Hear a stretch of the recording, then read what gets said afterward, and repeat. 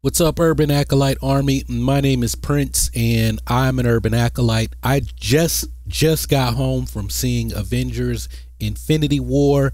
I want to give you guys my initial impressions. So this is going to be my Avengers: Infinity Wars no spoiler review. I'm not going to give up any spoilers. Just want to tell you guys what I thought about the movie uh, after seeing it, and I literally just got home 10 minutes ago. Um I if uh, if I seem kind of out of it or like washed out or not excited, um, it's not because I didn't like the movie. I I enjoyed this movie greatly, but it's late. Uh, I've been up all day. I worked.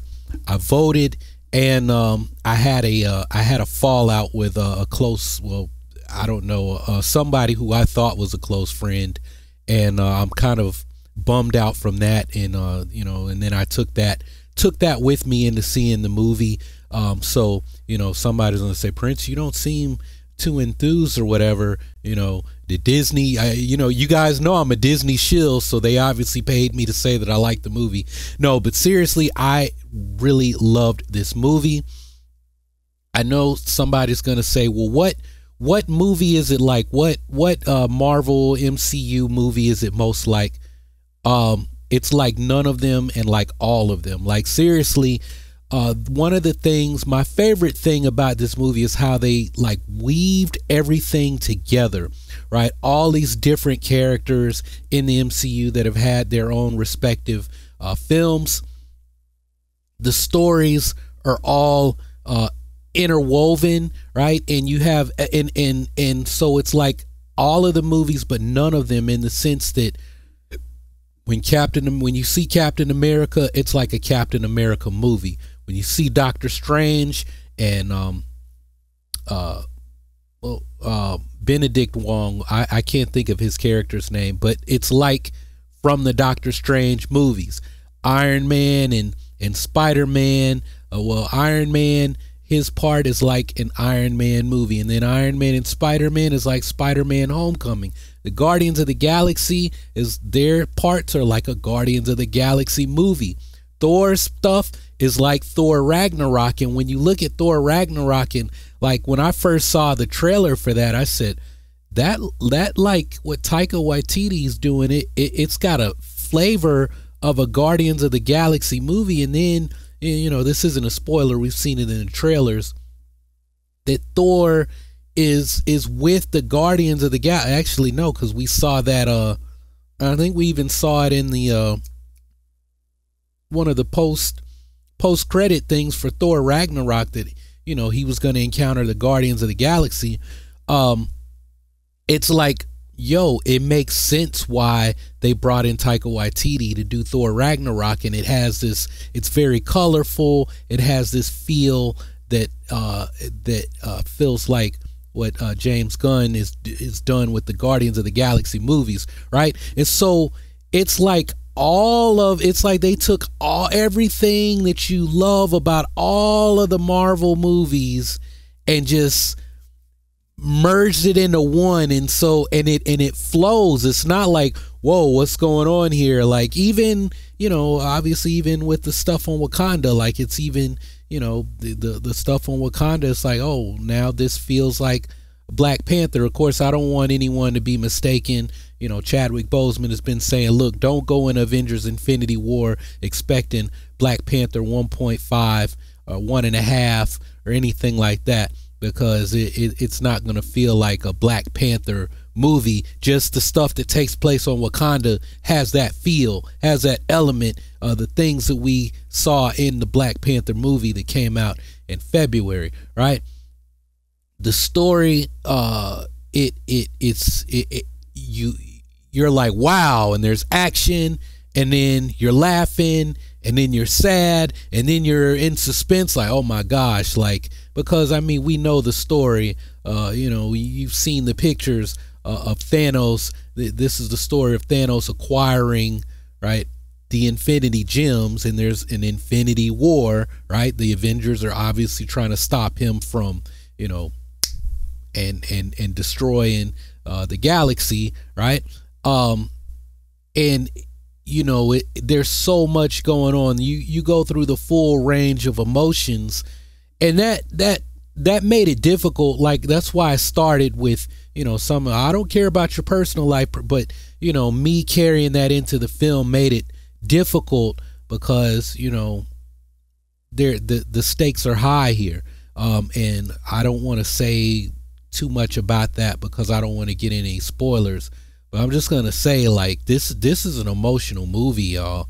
It is emotional, right? The characters uh, get emotional and the uh, the audience they they get emotional um, and that that was something that I really did like about this movie. It was a different uh, outing from when I saw Black Panther. Black Panther was like a cultural experience, right? People who were not Marvel fans, not geek culture type fans, people who don't normally see these kind of movies, you know, go check out my Black Panther non-spoiler review where I talked about, you know, there there were like Facebook events, right? There was a party going on in the theater where I saw it and people were running, you know, it was like all the ladies were were dolled up like they were going to the club and uh and most of the time little Easter eggs and stuff. They, you know, didn't know what was going on because it's, not the kind of stuff that they go and see, right? And some of my friends who were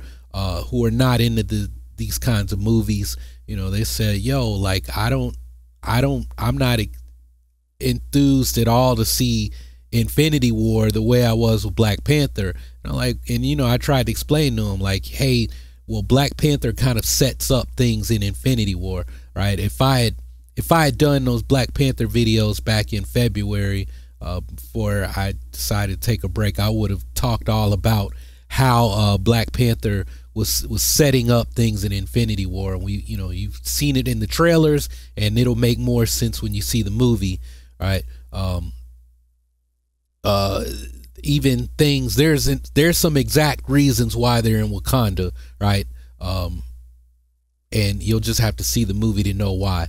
Uh, but this uh this this movie it, it was it was amazing you know 10 years in the making a decade in the making marvel has built up to this. And uh i don't know. I i really i really liked it.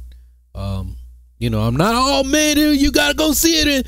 Uh, i'm you know I, I wish i could i wish i could be that way but you know i'm i'm being real with you guys. Like i'm kind of i'm kind of sad about you know the fact that uh, I couldn't keep my mouth shut. I lost my temper. I lost my cool for two seconds, and in that two seconds, I said something that ended a friendship. And uh, you know, I don't have a time gem to to turn time back and uh, and take that away. So I've got to live with you know live with that. And uh, I took that into the movie. I did enjoy the movie, and uh, I'm telling you guys, you know, if you were on the fence about this, go go and see it.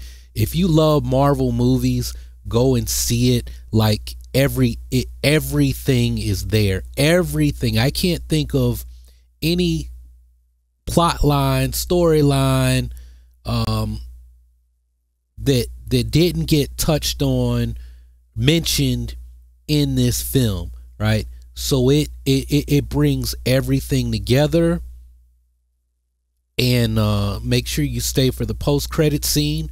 We know that one of the next movies coming out is going to be Captain Marvel's like origin story or whatever. And um, when you see the movie, you will understand why uh, why Captain Marvel is her origin story is going to be like the next movie uh, from the MCU. Well, there's Ant Man and the Wasp, um, and uh, I'm gonna actually, you know what? After having seen this, I'm I because I didn't like Ant Man, but now I'm gonna be looking forward because that's the next movie from the MCU. This is actually gonna make me want to go back and um, or one one go back and watch Ant Man again. But I, I'm more interested in seeing Ant Man and the Wasp. Um, I won't say why, but uh, there's questions that I have. Um, you know, from you know after having seen this movie and then Ant Man and the Wasp, I'm going to be wondering what the timeline is and just some some things that I I'll have to wait and, and say when I do a, a, a full review where I can discuss spoilers, and I probably won't do that until like uh, next week, like maybe Monday or Tuesday, because uh, I want to give everybody the weekend to uh, enjoy the movie uh, without being spoiled. Um, but anyway, those are my thoughts.